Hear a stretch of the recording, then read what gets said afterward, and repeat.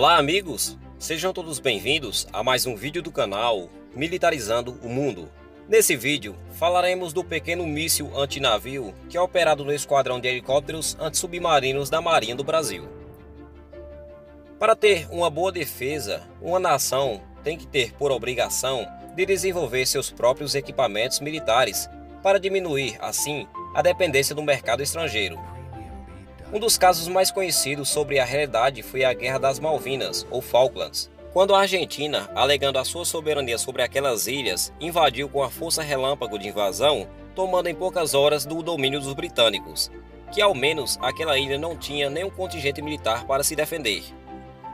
Naquela ocasião, os argentinos não esperavam uma grande resposta militar por parte dos britânicos, que enviou para a região dezenas de navios, caças e bombardeiros e para se defender e manter afastada aquela gigantesca força naval britânica das ilhas, os argentinos contavam com menos de 10 mísseis Exocet franceses, com outro lote comprado e prestes a receber. Porém, esse lote foi barrado pelos britânicos, que pegaram os argentinos totalmente desprevenidos e atacaram com a gigantesca força. Apesar de ter perdido algumas embarcações em ataques argentinos com mísseis Exocet, os britânicos venceram a guerra, recuperaram seu território e a Argentina sente até hoje os efeitos de ter perdido navios e aeronaves naquele conflito. Se os argentinos tivessem naquele momento dezenas de mísseis antinavio e se preparado para se defender, o resultado poderia ter sido diferente. E o Brasil, para não ficar para trás, já que é uma potência militar, também está investindo em seu míssil 100% nacional, produzido aqui mesmo no Brasil, que poderá levar Brasil ao seleto grupo de nações que produzem mísseis do tipo, assim dobrando as capacidades da nossa marinha. Além do Mansup, que está em fase de testes, o Brasil também opera mísseis Exocet franceses modernizados pela Avibraz. A Marinha também opera outro tipo de míssil antinavio, pouco conhecido, operado pela Marinha, é o míssil AGM-119 Penguin.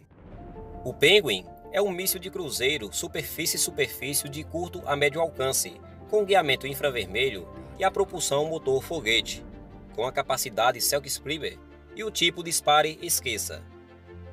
A versão lançada a partir de helicópteros iniciou o seu desenvolvimento na década de 80, devido ao grande interesse da Marinha norte-americana, o que levou ao desenvolvimento do MK2 Mod 7.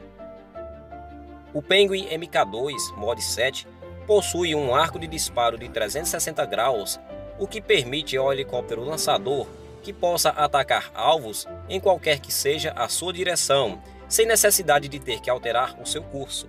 O Penguin é um míssil de cruzeiro de médio e curto alcance muito letal.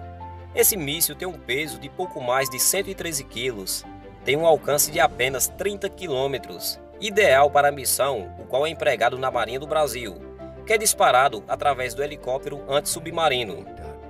É um míssil muito bom para missão de interceptação, mas muito limitado. Por ter um alcance curto, a aeronave que lança esse míssil corre o sério risco de ser abatida por mísseis antiaéreos do navio alvo, se esse navio tiver o sistema de defesa antiaérea. Se gostou do vídeo, deixe o seu like. Se não for inscrito, inscreva-se agora e ative o sininho das notificações. Também não deixe de visitar o nosso canal nas outras plataformas, no Instagram e no Facebook. O link eu deixarei aqui na descrição.